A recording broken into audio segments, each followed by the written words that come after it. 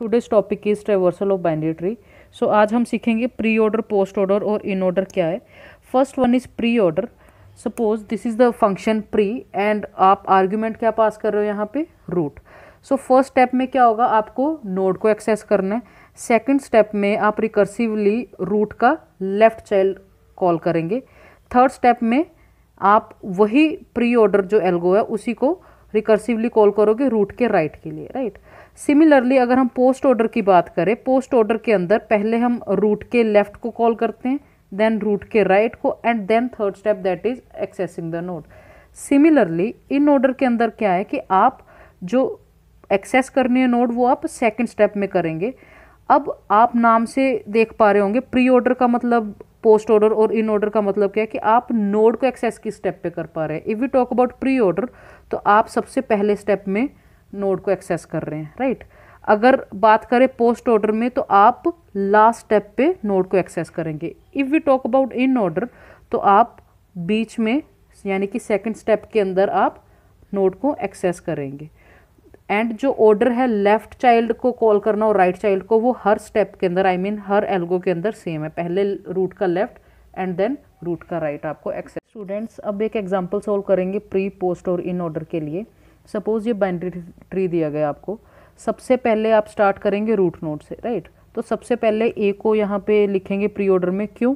Because pre order का first step है to assess the node उसके बाद आप लेफ़्ट में चाहेंगे ए के ए के लेफ़्ट में क्या है? बी तो बी के ऊपर अब रिकर्सिवली पूरा एल्गो चलेगा तो सबसे पहले आप बी लिखोगे, क्योंकि प्री ऑर्डर का फ़र्स्ट स्टेप क्या है? To assess node now will move to left part of this तो अब यहाँ पे आएगा डी डी का ना तो लेफ़्ट चाइल्ड है ना राइट चाइल्ड है तो हम बैक ट्रैक करेंगे बी पे। उसके बाद कहाँ पे आएँगे बी के? राइट चाइल्ड पे। बी के राइट चाइल्ड पे क्या है? सबसे पहले ई e, उसके बाद आप लिखोगे एफ़ क्योंकि ई e का लेफ़्ट चाइल्ड ये there is no right child of E तो बैक ट्रैक करेंगे बी पे उसके बाद ए पे। अब ए का सारा लेफ़्ट ट्री हमने जो सब ट्री है वो हमने क्या करा है? ट्रेवर्स कर लिया now will move to the right side right side पे सबसे पहले आया सी तो सी का, उसके बाद क्या आएगा? लेफ़्ट साइड उसके बाद राइट साइड पे मूव करेंगे तो आएगा एच उसके बाद एच का लेफ़्ट चाइल्ड आई और आई का लेफ़्ट चाइल्ड कोई नहीं है तो आप डायरेक्टली क्या लिखोगे? J that is the right students अब हम पोस्ट ऑर्डर निकालेंगे सेम ट्री का राइट सबसे पहले ए से स्टार्ट करेंगे तो पोस्ट ऑर्डर के अंदर फ़र्स्ट स्टेप क्या लेफ़्ट चाइल्ड पे जाना तो लेफ़्ट चाइल्ड पे गए राइट सेम चीज़ क्या होगा? बी का लेफ़्ट पे जाएँगे अब डी का ना तो कोई लेफ़्ट चाइल्ड है, ना सेकंड स्टेप वाला राइट right चाइल्ड है। तो हम क्या करेंगे? एक्सेसिंग द नोड तो हमने यहाँ पे लिख दिया डी अब बी पे बैक ट्रैक करेंगे। अब बी से फिर सेकंड स्टेप क्या है बी के लिए? राइट right चाइल्ड पे जाना। हम कहाँ जाएँगे? ई e पे राइट right? ई e के बाद ई e पे भी क्या होगा? मूव टू लेफ़्ट चाइल्ड अब एफ़ का ना तो लेफ़्ट चाइल्ड है, ना राइट right चाइल्ड है। तो एक्सेसिंग द नोड यहाँ पे क्या आएगा? एफ़ आफ्टर दैट ई का कोई राइट right चाइल्ड नहीं है तो अब क्या नोड एक्सेस होगी? ई नोड राइट अब यहाँ पे बी नोड एक्सेस होगी, उसके बाद बिकॉज़ बी का लेफ़्ट चाइल्ड और राइट चाइल्ड दोनों प्रोसेस हो चुके हैं राइट अब will move back to A अब ए का लेफ़्ट चाइल्ड सारा क्या हो चुका है? यानी कि लेफ़्ट सब ट्री सारा एक्सेस हो चुका है। Now will move to the right subtree A से जाएँगे सी पे सी से यहाँ पे जी पे। तो जी का ना तो लेफ़्ट चाइल्ड है, ना राइट right चाइल्ड है। तो एक्सेस करेंगे जी को। उसके बाद will move back to C C के राइट पे जाओ।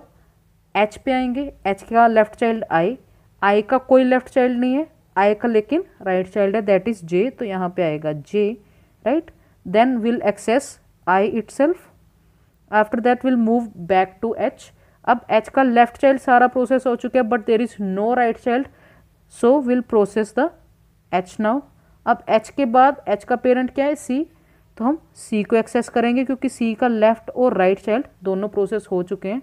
After accessing the left child and the right child of A will access A it right अब सेम मेथड से हम क्या करेंगे? इन ऑर्डर इन ऑर्डर के अंदर बस एक चीज़ याद रखनी है आपको कि हम पहले लेफ़्ट चाइल्ड देखेंगे देन नोड को एक्सेस करेंगे, फिर राइट right चाइल्ड पे जाएँगे। Will start from A A का लेफ़्ट राइट right? उसके बाद बी का लेफ़्ट इज़ डी अब डी का क्या केस है कि there is no left child तो उसके बाद आप डी को एक्सेस करेंगे राइट right? अब अगर डी का कोई लेफ़्ट चाइल्ड नहीं है तो कोई राइट right चाइल्ड भी नहीं है then move back to B अब डी को एक्सेस कर लिया तो उसके बाद हम बी को एक्सेस करेंगे और उसके बाद बी के राइट right चाइल्ड को। बी का राइट चाइल्ड क्या है? ई e, अब ई e के लिए लेफ़्ट चाइल्ड है एफ़ तो एफ़ को एक्सेस करेंगे उसके बाद ई e को एक्सेस करेंगे बिकॉज़ उसके बाद सेकंड स्टेप आएगा एक्सेस द नोड अब ई e का कोई राइट चाइल्ड नहीं है then will write nothing E पे बैक ट्रैक करेंगे, उसके बाद बी पे बैक ट्रैक करेंगे. बी हम ऑलरेडी एक्सेस कर चुके हैं. तो ए का सारा लेफ़्ट चाइल्ड प्रोसेस हो चुका है तो अब क्या लिखेंगे हम? ए ओवर हेयर राइट अब आफ्टर दिस ए के लिए हम राइट right साइड पे जाएँगे. Right right? तो ए पे राइट right साइड पे जाएँगे तो सी का हम लेफ़्ट चाइल्ड चेकआउट करेंगे सबसे पहले. तो will write G over here उसके बाद सी लिखेंगे. उसके बाद सी के राइट पे जाएँगे। एच एच के लेफ़्ट पे। आई का कोई लेफ़्ट नहीं है यहाँ पे राइट तो हम आई को एक्सेस करेंगे। ठीक? अब आई का लेफ़्ट हो चुका। आई खुद हो चुका अब आई के राइट पे है। जे सिमिलरली अब हम एच का अगर लेफ़्ट चाइल्ड प्रोसेस हो चुका है तो अब किसकी बारी है? H itself there is no right child of H तो हम बैक ट्रैक करेंगे सी पे। सी हम ऑलरेडी एक्सेस कर चुके हैं। सी का लेफ़्ट हो चुका है राइट हो चुका है। After accessing all the subtrees of A आपका इन ऑर्डर क्या हो जाएगा? कंप्लीट अब यहाँ पे नोटिस करने वाली बात क्या है? अगर हम इन तीनों ऑर्डर्स को चेक करें तो प्री ऑर्डर के अंदर रूट हमेशा स्टार्टिंग में होगा पोस्ट ऑर्डर के अंदर रूट हमेशा एंड पे होगा, और if we talk about in order तो रूट इन बिटवीन होगा, यानी कि ना फ़र्स्ट पे होगा, ना लास्ट पे होगा इन बिटवीन ऑर्डर पे कहीं पे होगा, और ए के लेफ़्ट पे जितने भी सारे नोड्स होंगी all those belongs to the left subtree और ए के जितने भी राइट right पे सारी नोड्स होंगी all will belong to the right subtree so this was the pre order post order and in order thanks for watching.